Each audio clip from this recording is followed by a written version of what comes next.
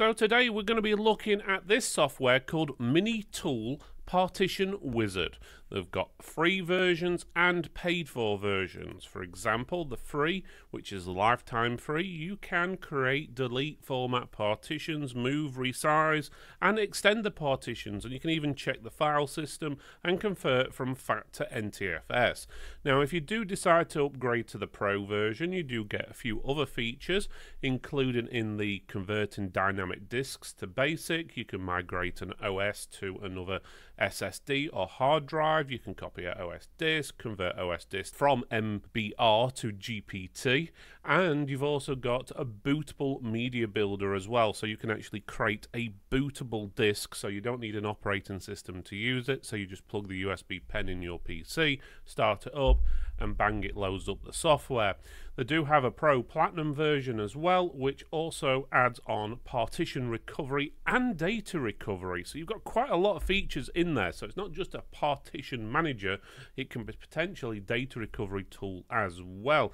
And there's also stuff in there which is not mentioned on here where you can actually test speeds and stuff like that as well which we'll have a look at in a few minutes they do have the pro ultimate as well from what I can see, it's basically exactly the same, but it comes with a free lifetime upgrade and you get extra licenses. So, for example, the Pro version, one license for one PC, the Pro Platinum for three PCs, and then the Pro Ultimate for five PCs. Now, there are other versions available as well. So let's just show you. You've got the Partition Wizard server as well. So obviously this is designed for servers. And obviously, as we mentioned, you've got that Partition Wizard bootable, which comes with the Pro and above versions, which gives you lots of different options on there. Okay, so we're going to have a look at the top end version, which is the Partition Wizard Pro Ultimate. Now, we're not looking at the server side of things, so we're only looking at the traditional version which would use on a PC or a laptop and so forth. So first screen you get up is the partition area so it shows you the partitions in your machine so you can see the drive letters and the partitions and so forth. You can see the capacity, how much you've used, unused, the file system so exFAT or NTFS and you've also got the type so like GPT and so on. You can also see the status if it's enabled and so on, or if there's any issues, or if it's the boot drive and so on. So it makes things easy to find out what they actually are. It also picks up stuff like SD cards, uh, compact flash cards, external drives, and stuff like that. For example, we've got a compact flash type B card here and an SD card there, and it's picking those up absolutely fine. You can also see down here the actual physical discs, so you can see that uh, disk Z, for example, on here, what says new volume. It's a full drive, it's got nothing on it, there is no partitions on it, where you've got disk 2, which is going to be the disk what we use our C drive on, so our boot drive, and it also shows the small partitions what it uses obviously when it sets up and so forth. And you've also got uh, another the uh, SD cards and compact flash cards we spoke about there. Now, you've got lots of different options on here, so let's just click on the Z drive. On the left-hand side, you've got you can migrate the OS to a SD HD wizard. You've got copy a partition. You've got copy disk wizard, partition recovery wizard, just in case you mess something up. You've got move resize the part resize the partition. So, for example, if you wanted to do that, you just click move resize. Comes up on here. You can either type the numbers in in either terabytes or you can change it to gigabytes megabytes and so forth or you can actually drag the end bit and resize it like that. Press OK. Obviously I'm not going to do that now because it's going to take a while but then that will create you obviously the partitions you want and then you can create another partition and so forth if you wish which is pretty good. You've also got uh, merge partitions so if you do have two partitions it will merge them together. You can even split one slap bang in the middle so you go oh I just want to split that one partition into two. You can do there and it tells you the size of each partition. And you've got all the usual stuff down that there like copy partition stuff which is really good. Bear in mind you can also run this not just within Windows itself. You can create a tool if you've got the Pro version, uh, which you can boot from, and it will give you a very similar user interface. You've also got obviously other options at the top, so you can change view, partitions, dynamic disks, and everything on there. And you've got all your help uh, information there as well, and checking for updates.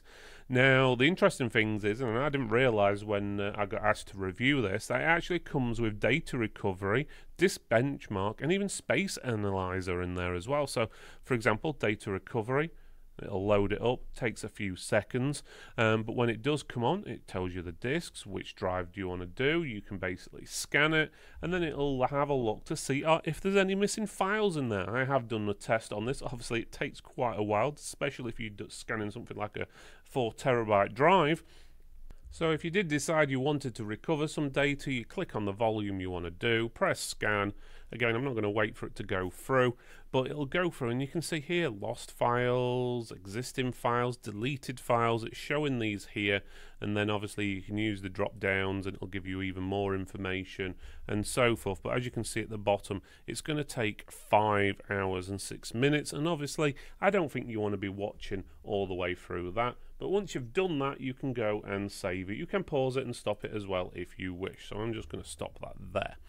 Now, bear in mind, this opens up in tabs, so you can have a data recovery tab open and partition management open at the same time, and you can also have disk benchmark and so forth.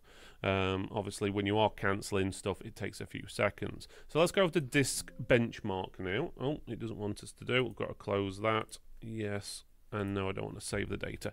So disk benchmark so you can choose a disk you want to scan. So let's just say our C drive you can do the transfer speeds number of tests and so forth and just press start and it's as simple as that and that'll go through and then test the disk and give you some read and write speeds. Our numbers will be slightly out because we're currently using this drive it's testing uh, to record this video as well as doing all the other things we've got running in the background. Obviously when doing tests to drives on drives you need to do it on basically a clean drive which you are not currently using for something else uh, like a boot drive. It's a bit pointless testing the boot drive while you've got the operating system on there and you're running it because, well, it's running in the background and it's going to affect the test results. So I'm going to press cancel on that one, which will take a few seconds for it to cancel while it's in the middle of a test. There we go. And then we'll go on to something else. So we've got Space Analyzer here. So you can go there. So you can scan the drive. So let's start it off and this will tell you what is taking up space on your machine. So you know if it's pictures video documents and so forth. But bear in mind this may take a few minutes to go through. So once it's scanning it tells you at the top total space 900 uh, 930 gigabytes space used 669 and how much free space which is 260 gigabytes. You can see here a tree view so it shows you what's using the most amount of room. So we know the user folder here is using the most size. You can then click on the little arrow there. It'll then obviously narrow it down and says, oh yeah, the fill one has got most of the files in, 107 gigs, then I can click on that. And then you go down, app data's got 60 gigs, so I've got a lot in app data. That's because we use this for uh, doing a lot of Premiere Pro work, which is video editing. It saves a lot of stuff in the app data folder and so forth. So you can see stuff there. Or on the right side, you can see what type of files. So the system files, as you can see, take up 35 gigabytes the MP4, so that's video files are taken up 35, applications, DLL files 38, Outlook data file is 21 gigs, so you can see where all the space has been taken up.